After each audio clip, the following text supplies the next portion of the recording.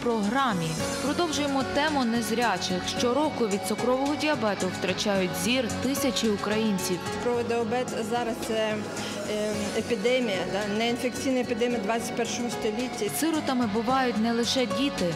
Найбільше людям літнього віку бракує спілкування. Ми п'ємо чай з ними, ми е, готуємо канапки, святкуємо дні народження, іменини, професійні їхні свята.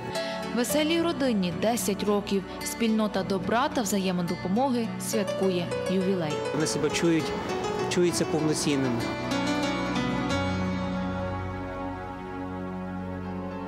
Пані Мирослава згадує, що довелося їй пережити. Проте лихоліття спокійно говорити не може. Мені 12 років було. Як нас взяли на Сибір, 12 років, четверо дітей, молодші від мене, батько, мама. І бабуня ще з нами старша. Ми дуже тяжко то все, нам дуже тяжко було. Але тим не менше і тут було тяжко. Життя склалося. Не хочу гнівити Бога. Слава Богу, що нема голоду, ну, але потім дуже складно було. Обдувались тут з чоловіком в виниках. А тепер вже він нема, відійшов вже на той світ.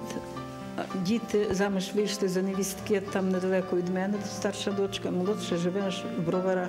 Пан Богдан також скуштував покарання від радянської влади. Ну, Я там політв'язаний.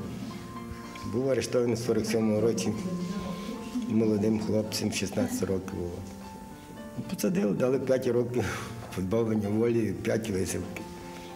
Був в лагерах в Мордовії, Казахстані, Красноярську. Ну, до Львова. У Львові ми приписували три роки так. То там переспав, то там переспав, то там. Ну, пізніше вдалося приписатися.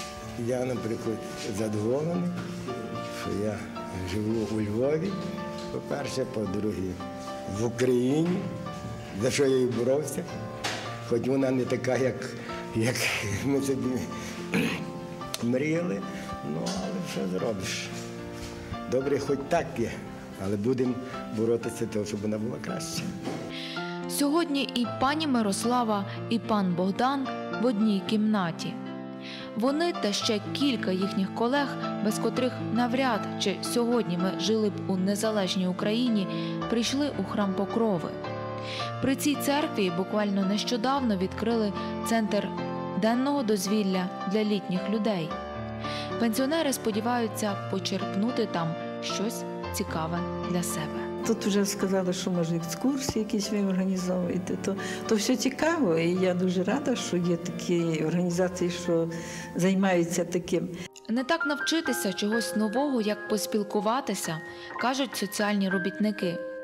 Програма занять та лекцій у центрі денного дозвілля найрізноманітніша, але головне все ж дати можливість відвідувачам відкритися, пізнавально та весело провести час у колі однодумців. Спілкування для них є дуже важливим, тому що буває таке, що людина йде до нас, і ну, навіть не до нас, а ближче до церкви і до нас. І вони е, в них пропадають хвороби. Бувають такі люди, що лежали і встають, і вони приходять до нас до церкви. Навіть говорять, що їм краще і легше в церкві, ну лікує їх. І вони спілкуються. Спілкування. Спілкування це дуже важливий такий засіб. Мені здається, людина просто навіть тиск падає, голова перестає боліти. Ну як для старшої людини. Вони хочуть виговоритися, вони лікуються цим. Відповідно, вони, я думаю, що отримують якусь інформацію від нас. Е, Таку ми стараємося шукати, ми стараємося їм якісь концерти, е, цікаві зустрічі з цікавими людьми. Вони навіть е, шукають друзів, знаходять собі. І відповідно ми п'ємо чай з ними. Ми готуємо канапки, святкуємо дні народження, іменини, професійні їхні свята. І для них це важливо. Вони відчувають себе просто ну, потрібними. От вони діляться своїми е, якимись такими досвідом своїм з нами, молодими. Ну і відповідно, бачите, багато дітей тут з нами є. І, і це теж вони дуже люблять дітей малих. Відповідно, ми залучаємо е, колективи дитячі. Е, Вони танцюють для них, і вони разом з ними співають. По мірі можливості ми запрошуємо співаків різних. Ну, Це така співпраця. Центрів денного дозвілля для літніх людей у Львові тепер чотири. Та в планах відкрити по кожному такому закладі у всіх районах міста. В центрах денного дозвілля ми проводимо і майстер-класи, і е, лекції на- різноманітні теми, і літературні читання, і е, духовні читання. Е, Ну, чесно вам сказати, то е, ми зробили опитування, і що люди від нас хочуть якби, отримати, ми стараємося їм це дати. Наприклад, е, нещодавно е, минулого місяця в нас було проведені і е, мастер-шефи, де бабусі могли поділитися своїми кулінарними здібностями. Була проведена дискотека вперше ну, так, в такому ракурсі в нічному клубі. І з такою метою саме і створені дані центри, щоб в них могли люди збиратися, обговорювати свої життєві проблеми, якось шукати спільне вирішення їхнє, проводити цікаво дозвілля, проводити цікаво час. Три з чотирьох центрів дозвілля при храмах. Церква завжди радо йде на зустріч таким ініціативам. Нехай прийде царство Твоє, нехай буде воля Твоя, як на небі, так і на землі. Хліб наш насушний дай нам сьогодні, і прости нам провини наші, як і ми прощаємо винуватцям нашим. І не веди нас на спокусу, але визволи нас від лукавого. Амінь. Богородице Діва, радуйся, благодатна Марія, Господь з тобою, благословенна ти між жінками, і благословенний плід лона Твого, бо ти породила Христа Спаса і Збавителя душ наших.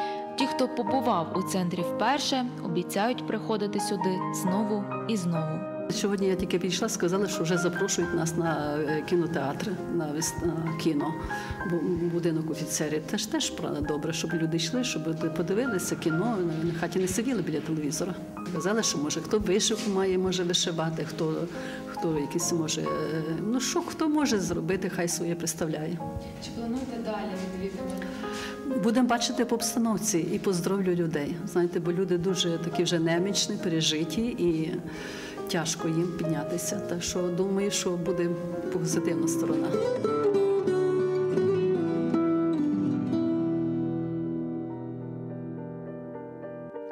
6 листопада Міжнародний день сліпоти. Однією з найпоширеніших причин втрати зору це цукровий діабет. Задумайтеся, такий діагноз ставлять що 5 секунд. Тобто що 5 секунд на одного хворого стає більше. Зараз на цукровий діабет страждає майже 230 мільйонів мешканців нашої планети. В індустріально розвинених країнах цукровий діабет на четвертому місці в рейтингу найчастіших причин смертності.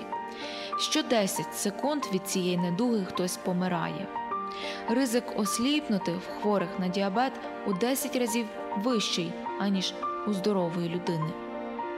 Левова частка членів Львівського осередку УТОСу, тобто Українського товариства сліпих, страждають від цукрового діабету. Саме тому організація разом з Національною асамблеєю інвалідів України ініціювали проведення науково-практичної конференції. Вона відбулася у Львові. А Національна асамблея взагалі це з- склад її входить понад 100 громадських об'єднань е, людей з інвалідністю різних нозологій. Це і е, в тому числі люди з пору- з порушеннями зору, а також з е, хворих на цукровий діабет. От ми вже не перший раз проводимо такого рангу конференції.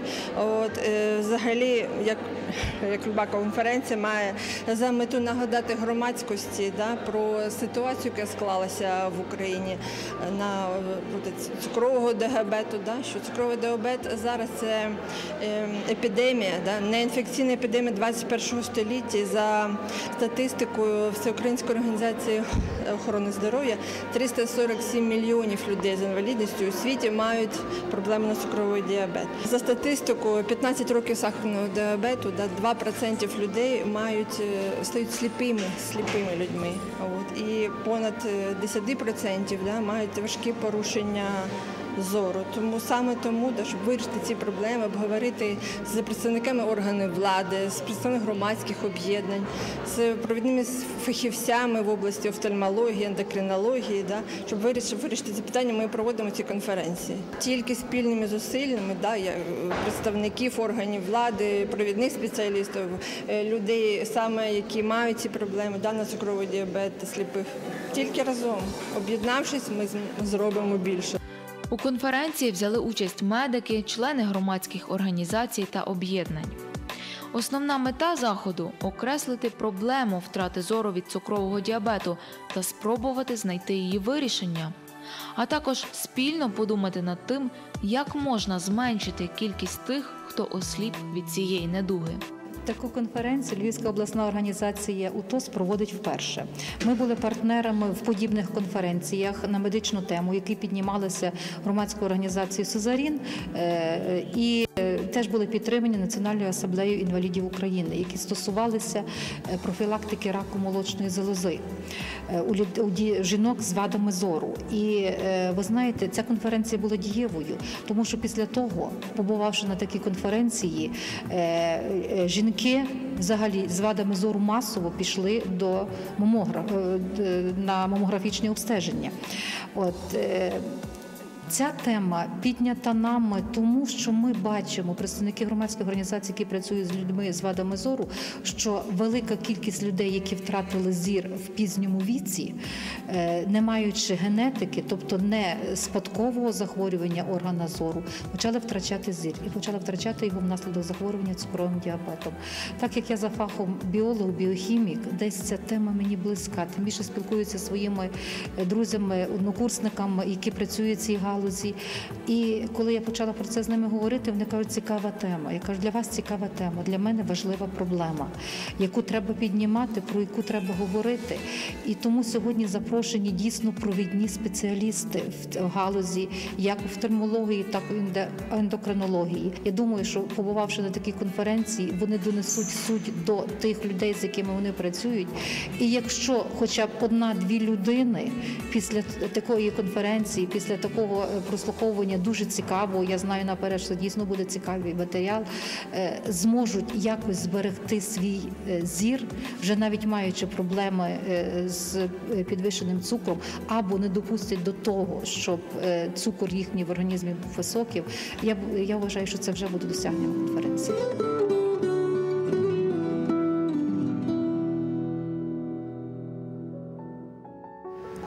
Ти приніс мені троянду, положив на стіл.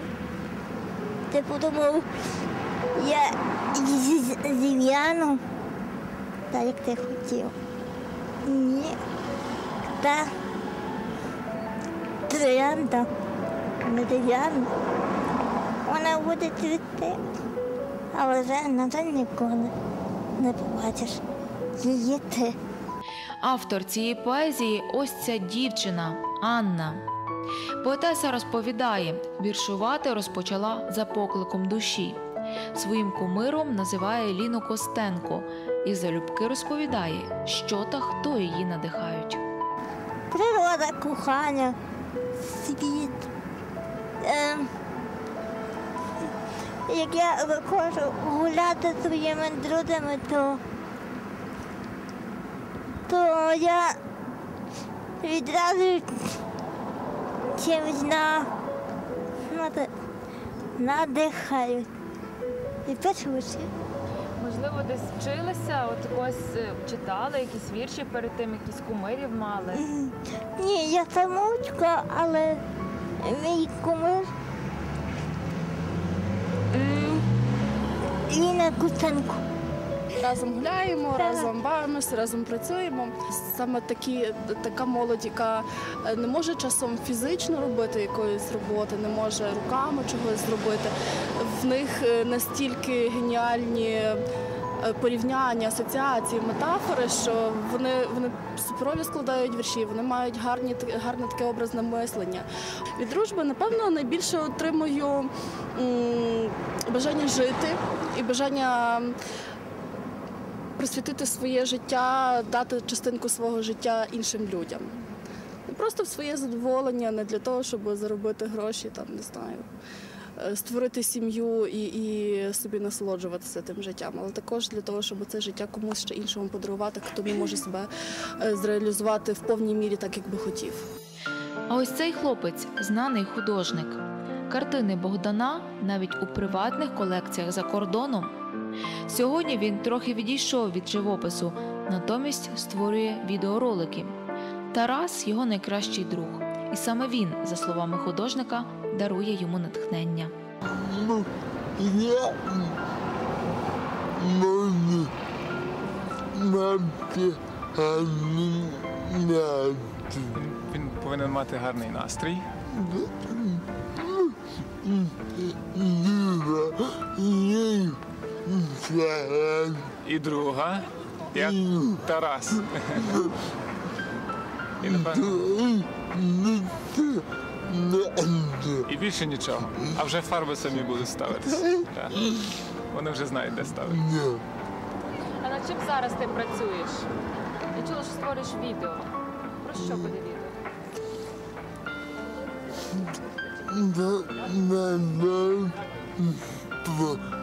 Посуне один хлопець поправаю.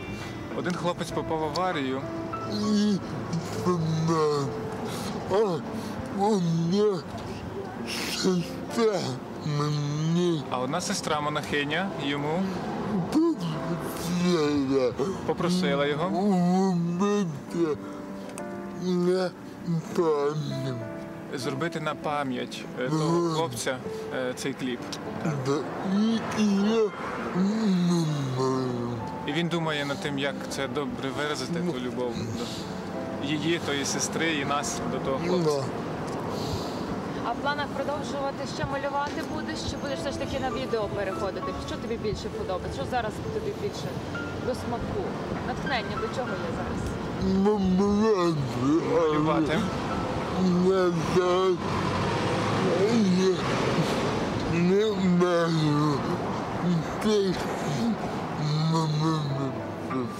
Малювати, але, на жаль, зараз немає можливості малювати. маю надію буду малювати. Скоро. Познайомилися ми дуже цікаво. Це була поїздка в Зарваницю, е, організовувалася для е, людей з особливими потребами зі спільноти Віра і світло. І тоді е, так дуже неочікувано, бо до того ми не зналися. І, і нас вже на місці з корабля на бал познайомили. І дуже тішився тому, що ми є разом. Що ви одне від одного черпаєте? Черпаємо радість.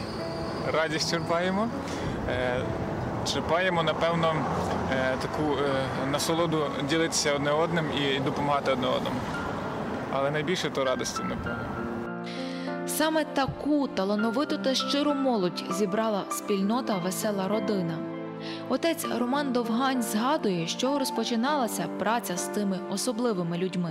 Коли ми творили цю спільноту, то в принципі ми якби ставили собі за мету, що ми, що ми можемо чимось якби, цим дітям допомогти, тобто щось їм подарувати.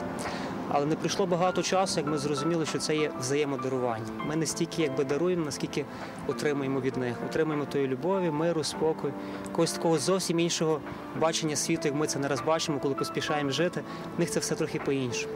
Ті речі, до яких ми звикли, для них це насправді є дуже такими великими, дорогоцінними. Ті звичайні речі банальні, які ми кожен день робимо, і навіть це не помічаємо в своєму житті.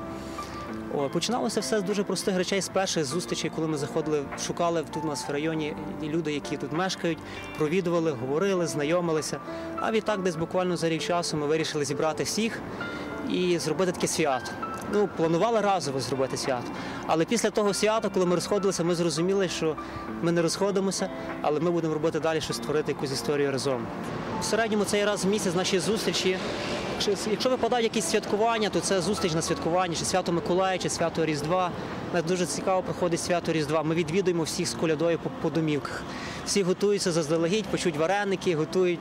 Все ду- дуже дуже справді гарно і цікаво це відбувається. Ходимо минулого року. Ми це робили за кордоном, заходили, колядували. Якби і переважно цей раз в місяць, і а попри те, ми ще маємо якісь виїзди, зустрічі. Вони не чекають, коли хтось зробить добро для них, а роблять його самі.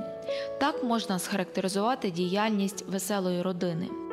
До речі, у спільноті одне одного називають друзями. Друзі часто виїжджають на екскурсії в місто та пікніки за його межі. Для них це можливість побути самостійними та весело провести час. Вони себе чують, чуються повноцінними, що вони без батьків можуть щось зробити, що вони без батьків можуть вийти з хати і щасливо повернутися. Це справді для них велика радість. Ну і також радість для нас, коли ми перше спробували без батьків виїхати, ми побачили, що ми це можемо зробити. І це для нас також було такою досить великою приємністю, радістю, що ми можемо їхати і творити щось разом.